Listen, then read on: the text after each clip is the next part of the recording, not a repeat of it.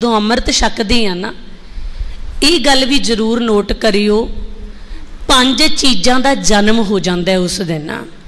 ਜਦੋਂ ਅੰਮ੍ਰਿਤ ਛਕਦੇ ਆ, ਆਪਣੇ ਜੀਵਨ ਵਿੱਚ ਪੰਜ ਚੀਜ਼ਾਂ ਦਾ ਜਨਮ ਹੁੰਦਾ ਹੈ ਤੇ ਪੰਜ ਚੀਜ਼ਾਂ ਦਾ ਨਾਸ਼ ਹੋ ਜਾਂਦਾ ਖਤਮ ਹੋ ਜਾਂਦੀਆਂ ਨੇ ਪੰਜ ਚੀਜ਼ਾਂ। ਜਿਹੜੀਆਂ ਪੰਜ ਚੀਜ਼ਾਂ ਦਾ ਜਨਮ ਹੁੰਦਾ ਉਹ ਕਿਹੜੀਆਂ ਨੇ? ਸਤ, ਸੰਤੋਖ, ਦਇਆ, ਧਰਮ, ਧੀਰਜ। ਇਹ ਸ਼ੁਭ ਗੁਣ ਜਨਮ ਲੈ ਲੈਂਦੇ ਨੇ ਆਪਣੇ ਅੰਦਰ। ਜਦੋਂ ਆਪਾਂ ਬਾਣੀ ਤੇ ਬਾਣੀ ਨਾਲ ਜੁੜਦੇ ਆ ਤੇ ਪੰਜ ਚੀਜ਼ਾਂ ਦਾ ਨਾਸ਼ ਹੋ ਜਾਂਦਾ ਹੈ। ਉਹ ਕਿਹੜੀਆਂ ਪੰਜ ਚੀਜ਼ਾਂ ਪਹਿਲੇ ਨੰਬਰ ਤੇ ਤਾਂ ਜਦੋਂ ਅੰਮ੍ਰਿਤ ਛਕਦੀ ਆ ਨਾ, ਕੁੱਲ ਨਾਸ਼ ਹੋ ਜਾਂਦੀ ਆ। ਪਿਛਲਾ ਜਾਤ, ਗੋਤ ਖਤਮ ਹੋ ਜਾਂਦਾ ਹੈ। ਆਪਾਂ ਖਾਲਸਾ ਬਣ ਜਾਂਦੇ ਆ ਵੀਰ ਵੀ ਖਾਲਸਾ, ਭੈਣਾ ਵੀ ਖਾਲਸਾ। ਕਲਗੀਆਂ ਵਾਲੇ ਪਾਤਸ਼ਾਹ ਜੀ ਦੇ ਪੁੱਤਰ ਧੀਆਂ ਸਿੰਘ ਕੌਰ ਬਣ ਜਾਂਦੇ ਆ। ਕੁੱਲ ਨਾਸ਼ ਹੋ ਜਾਂਦੀ ਆ। ਦੂਜੇ ਨੰਬਰ ਤੇ ਕਰਮ ਨਾਸ਼ ਹੋ ਜਾਂਦਾ ਹੈ। ਕਿਉਂਕਿ ਮਨੂਵਾਦੀ ਧਰਮ ਨੇ ਇਹ ਗੱਲ ਫੈਲਾਈ ਸੀ ਵੀ ਜਦੋਂ ਆਪਾਂ ਆਪਣੇ ਪਿਛਲੇ ਜਨਮ ਵਿੱਚ ਕੋਈ ਖਾਸ ਕਰਮ ਕਰਦੇ ਆ ਨਾ, ਉਹਨਾਂ ਖਾਸ ਕਰਮਾਂ ਕਰਕੇ ਖਾਸ ਜਾਤੀ ਦੇ ਵਿੱਚ ਜਨਮ ਮਿਲਦਾ ਹੈ। ਜੇ ਤੁਸੀਂ ਸ਼ੂਦਰਾਂ ਦੇ ਘਰ ਵਿੱਚ ਪੈਦਾ ਹੋਏ ਹੋ, ਤੁਹਾਡੇ ਕਰਮ ਚੰਗੇ ਨਹੀਂ ਹੈਗੇ। ਇਹ ਕਰਮ ਨਾਸ਼ ਹੋ ਜਾਂਦਾ ਹੈ। ਜਦੋਂ ਆਪਾਂ ਅੰਮ੍ਰਿਤ ਛਕਦੇ ਹਾਂ, ਗੁਰੂ ਜੀ ਸੋਝੀ ਦਿੰਦੇ ਨੇ, ਪੁੱਤ, ਤੂੰ ਜਿੱਦਾਂ ਦੇ ਕਰਮ ਕਰੇਗਾ ਨਾ, ਤੈਨੂੰ ਭਰਨਾ ਵੀ ਇੱਥੇ ਹੀ ਪੈਣਾ ਹੈ। ਅੱਜ ਹੀ ਆਪਾਂ ਕੋਈ ਮਾੜਾ ਕੰਮ ਕਰ ਲਈਏ। ਰਾਤ ਨੂੰ ਨੀਂਦ ਨਹੀਂ ਆਉਂਦੀ। ਗੁਰੂ ਜੀ ਸੋਝੀ ਦੇ ਦਿੰਦੇ ਨੇ, ਊਚ ਨੀਚ ਜੋ ਬਣਾਈ ਆ ਨਾ ਇਦਾਂ ਕੁਝ ਵੀ ਨਹੀਂ ਹੁੰਦਾ ਜਿਹੜੇ ਰੱਬ ਨੂੰ ਜਪਦੇ ਨੇ, ਭਾਵੇਂ ਕੁੱਲੀਆਂ 'ਚ ਬੈਠੇ ਹੋਣ, ਉਹਨਾਂ ਦੀ ਕੋਈ ਬਰਾਬਰੀ ਨਹੀਂ ਕਰ ਸਕਦਾ। ਜਿਹੜੇ ਰੱਬ ਨੂੰ ਭੁਲਾ ਕੇ ਬੈਠੇ ਨੇ, ਭਾਵੇਂ ਮਹਿਲਾਂ ਮਾੜੀਆਂ 'ਚ ਬੈਠੇ ਹੋਣ, ਉਹ ਨੀਚ ਹੀ ਰਹਿਣਗੇ। ਗੱਲ ਹੈ ਰੱਬ ਨੂੰ ਜਪਣ ਦੀ, ਤੂੰ ਮਹਿਲਾਂ 'ਚ ਬੈਠੇ, ਰੱਬ ਨੂੰ ਯਾਦ ਕਰ। ਕੁੱਲੀ 'ਚ ਰੱਬ ਨੂੰ ਯਾਦ ਕਰ, ਜੇ ਤੂੰ ਰੱਬ ਨੂੰ ਭੁਲਾ ਦਿੱਤਾ ਹੀ ਨਾ। ਨਾਨਕ ਨਾਵੈ ਵਾਜ ਸਨਾਤ, ਖਾਸਮ ਵਿਸਾਰ ਹੈ ਤੇ ਕਮਜਾਤ ਨਾਨਕ ਨਾਵੈ, ਬਾਜ ਸਨਾਤ।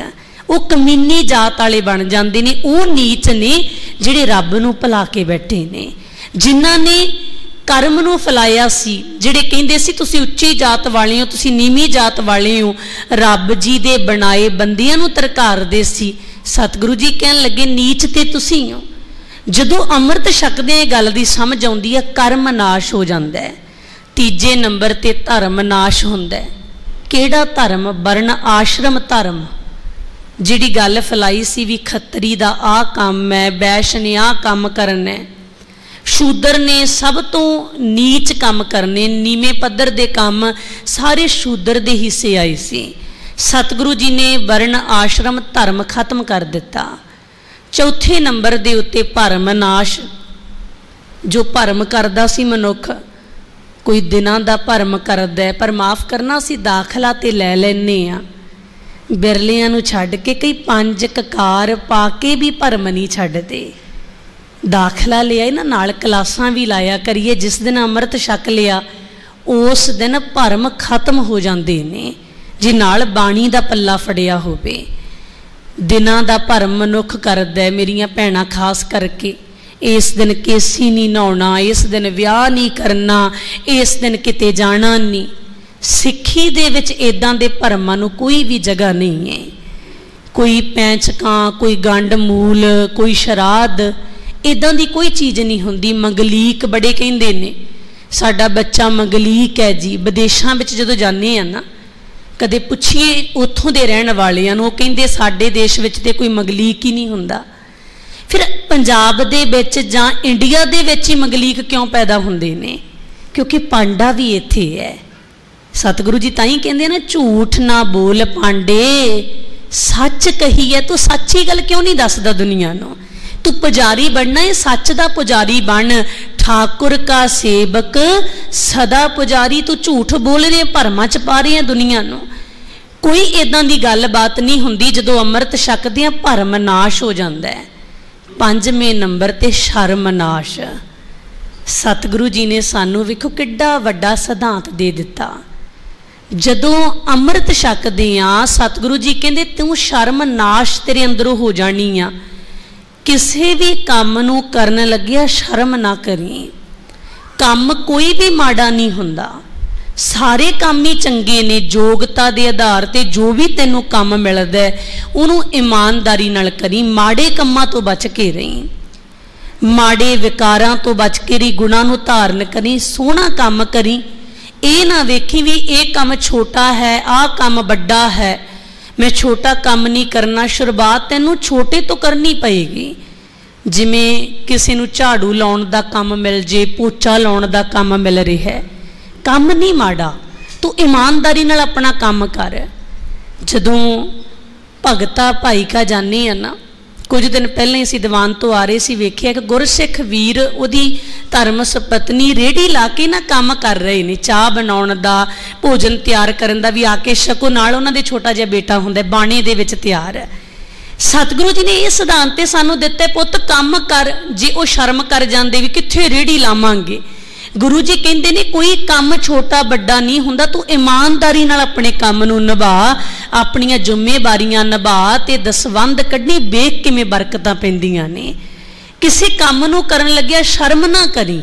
ਬਸ ਗੁਰੂ ਅਨਸਾਰੀ, ਗੁਰਮਤ ਅਨਸਾਰੀ ਕੰਮ ਕਰਨਾ ਕੰਮ ਨੂੰ ਜੋ ਵੀ ਤੈਨੂੰ ਮਿਲਦਾ ਜਦੋਂ ਭਾਈ ਸ਼ੀਹਾਂ ਜੀ ਦਾ ਜੀਵਨ ਪੜ੍ਹਦੇ ਆ ਭਾਈ ਸ਼ੀਹਾਂ ਜੀ ਕਿੰਨੇ ਪਰਪੱਕ ਸਿੱਖ ਹੋਏ ਨੇ ਗੁਰੂ ਨਾਨਕ ਸਾਹਿਬ ਮਹਾਰਾਜ ਜੀ ਦੇ। ਪਰ ਉਹਨਾਂ ਸ਼ਰਮ ਥੋੜਾ ਕੀਤੀ ਕੰਮ ਕਰਨ ਤੋਂ ਦਿਹਾੜੀ ਤੇ ਜਾਂਦੇ ਸੀ। ਰੋਜ਼ ਜਿੰਨੇ ਕਰ ਪਏ ਹੁੰਦੇ ਉਨੇ ਕ ਦਾ ਰਾਸ਼ਨ ਲੈ ਕੇ ਘਰ ਆ ਜਾਂਦੇ। ਗੁਰੂ ਜੀ ਦੇ ਬਚਨਾਂ ਨੂੰ ਕਮਾਏ ਧਰਮ ਦੀ ਕਿਰਤ ਕਰਨੀ ਆ, ਕਿਰਤ ਕਰਦੇ ਸਮੇਂ ਸ਼ਰਮ ਨਹੀਂ ਕਰਨੀ। ਸਤਿਗੁਰੂ ਜੀ ਕਹਿੰਦੇ, ਪੁੱਤ, ਜਦੋਂ ਅੰਮ੍ਰਿਤ ਛਕ ਲਿਆ ਨਾ, ਇਹ ਪੰਜ ਚੀਜ਼ਾਂ ਦਾ ਨਾਸ਼ ਹੋ ਜਾਣਾ ਹੈ। ਪੰਜ ਚੀਜ਼ਾਂ ਅੰਦਰ ਜਨਮ ਲੈ ਲੈਣਗੀਆਂ, ਤੇਰੇ ਅੰਦਰ ਦਇਆ ਆਊ, ਧਰਮ ਆਊ, ਧੀਰਜ ਆਊ। ਸਤ ਆਊ, ਸੰਤੋਖ ਆਊਗਾ। ਤੇ ਜਦੋਂ ਤੂੰ ਪੰਜ ਕਕਾਰ ਪਾ ਲਏ, ਜਿੱਥੇ ਪੰਜ ਚੀਜ਼ਾਂ ਦਾ ਜਨਮ ਹੋਏਗਾ ਨਾ, ਉੱਥੇ ਉਹ ਪੰਜ ਕਕਾਰ ਵੀ ਤੂੰ ਤਨ ਤੱਕ ਨਾ ਰੱਖੀ, ਉਹਨਾਂ ਨੂੰ ਮਨ ਤੱਕ ਲੈ ਜਾਈ। ਭਾਵ ਪੰਜਾਂ ਕਕਾਰਾਂ ਦੀ ਸਿੱਖਿਆ ਨੂੰ ਤੂੰ ਮਨ ਵਿੱਚ ਬਸਾ ਲਈ। ਹੁਣ ਜਿਹੜੇ ਪੰਜ ਕਕਾਰ ਨੇ, ਇਹ ਆਪਾਂ ਨੂੰ ਕੀ ਸਿਖਾ ਰਹੇ ਨੇ? ਸੰਖੇਪ ਦੇ ਵਿੱਚ ਕਹਿ ਜਾਵਾਂ, ਧਿਆਨ ਦੇ ਵਿੱਚ ਗੱਲ ਆ ਜਾਵੇ। ਆਪਾਂ ਕੜਾ ਪਾਉਨੇ ਆ। ਸਰਬ ਲੋਹ ਦਾ ਕੜਾ ਪਾਉਣਾ ਹੈ। ਹੁਣ ਸਰਬ ਲੋਹ ਦਾ ਕੜਾ ਹਰ ਕੋਈ ਪਾ ਸਕਦਾ ਹੈ। ਹਰ ਇੱਕ ਨੇ ਪਾਉਣਾ ਵੀ ਹੈ। ਇਹ ਗੁਰੂ ਪਾਤਸ਼ਾਹ ਜੀ ਨੇ ਸਾਨੂੰ ਇੱਕ ਦਾਤ ਦਿੱਤੀ ਹੈ, ਇੱਕ ਬਖਸ਼ਿਸ਼ ਕੀਤੀ ਹੈ ਸਰਬ ਲੋਹ ਦਾ ਕੜਾ। ਪਟਨਾ ਸਾਹਿਬ ਦੀ ਧਰਤੀ ਤੇ ਮਾਤਾ ਗੁਜਰੀ ਜੀ ਨੇ ਜਦੋਂ ਗੋਬਿੰਦ ਰਾਏ ਜੀ ਦੇ ਕੰਗਣ ਪਾਏ ਸੀ ਨਾ, ਹੱਥਾਂ ਦੇ ਵਿੱਚ ਸੋਨੇ ਦੇ ਕੰਗਣ। ਸਤਿਗੁਰੂ ਜੀ ਨੇ ਖੇਡਦਿਆਂ ਇੱਕ ਕੰਗਣ ਗੰਗਾ ਦੇ ਵਿੱਚ ਸੁੱਟ ਦਿੱਤਾ। ਮਾਤਾ ਜੀ ਨੂੰ ਸਨੇਹਾ ਮਿਲਿਆ। ਮਾਤਾ ਗੁਜਰੀ ਜੀ, ਜਿਨ੍ਹਾਂ ਨੂੰ ਮਾਤਾ ਗੁਜਰ ਕੌਰ ਜੀ ਕਹਿੰਦੇ ਆ, ਭੱਜ ਕੇ ਆਏ, ਆ ਕੇ ਘੂਰਿਆ ਨਹੀਂ ਪੁੱਤ ਨੂੰ। ਜੇ ਮੇਰੇ ਪੁੱਤ ਨੇ ਅਜਿਹਾ ਕੀਤਾ, ਇਹਨਾਂ ਜ਼ਰੂਰ ਕੁਝ ਨਾ ਕੁਝ ਸਮਝਾਉਣਾ ਚਾਹੁੰਦੇ ਹੋਣਗੇ। ਬੜੇ ਪਿਆਰ, ਅਦਬ ਸਤਕਾਰ ਨਾਲ ਗੋਦ 'ਚ ਬਿਠਾਇਆ, ਪੁੱਛਣਾ ਕੀਤਾ, ਪੁੱਤ ਕੰਗਣ ਕਿੱਥੇ ਸੁੱਟ ਦਿੱਤਾ ਹੁਣ ਜੇ ਕੱਲਾ ਦੱਸਣਾ ਹੀ ਹੁੰਦਾ, ਤਾਂ ਕੋਲੇ ਪੱਥਰ ਵਗੈਰਾ ਚੁੱਕ ਕੇ ਦੱਸਿਆ ਜਾ ਸਕਦਾ ਸੀ, ਮਾਰ ਕੇ ਮਾਂ ਇੱਥੇ ਸੁੱਟੇ ਹੈ। ਇਤਿਹਾਸਕਾਰ ਦੱਸਦੇ ਨੇ ਗੋਬਿੰਦ ਰਾਏ ਜੀ ਨੇ ਦੂਜਾ ਕੰਗਣ ਵੀ ਲਾ ਕੇ ਸੁੱਟ ਦਿੱਤਾ, ਮਾਂ ਇੱਥੇ ਕਿ ਸੁੱਟਿਆ ਸੀ। ਸਮਝਾਉਣਾ ਚਾਹੁੰਦੇ ਆ ਨਾ, ਮਾਂ ਨੇ ਪੁੱਛਿਆ, ਪੁੱਤ, ਕਿਉਂ ਸੁੱਟਿਆ? ਦੂਜਾ ਵੀ ਸੁੱਟ ਦਿੱਤਾ? ਗੋਬਿੰਦ ਰਾਏ ਜੀ ਕਹਿਣ ਲੱਗੇ, ਮਾਂ ਇਹਨੂੰ ਤੇ ਕੋਈ ਅਮੀਰ ਹੀ ਪਾ ਸਕਦਾ ਹੈ। ਮੈਂ ਆਪਣੇ ਪਿਆਰਿਆਂ ਨੂੰ ਐਸਾ ਕੰਗਣ ਦੇਵਾਂਗਾ, ਐਸਾ ਕੜਾ ਦੇਵਾਂਗਾ, ਜਿਹਨੂੰ ਹਰ ਕੋਈ ਪਾ ਸਕੇਗਾ।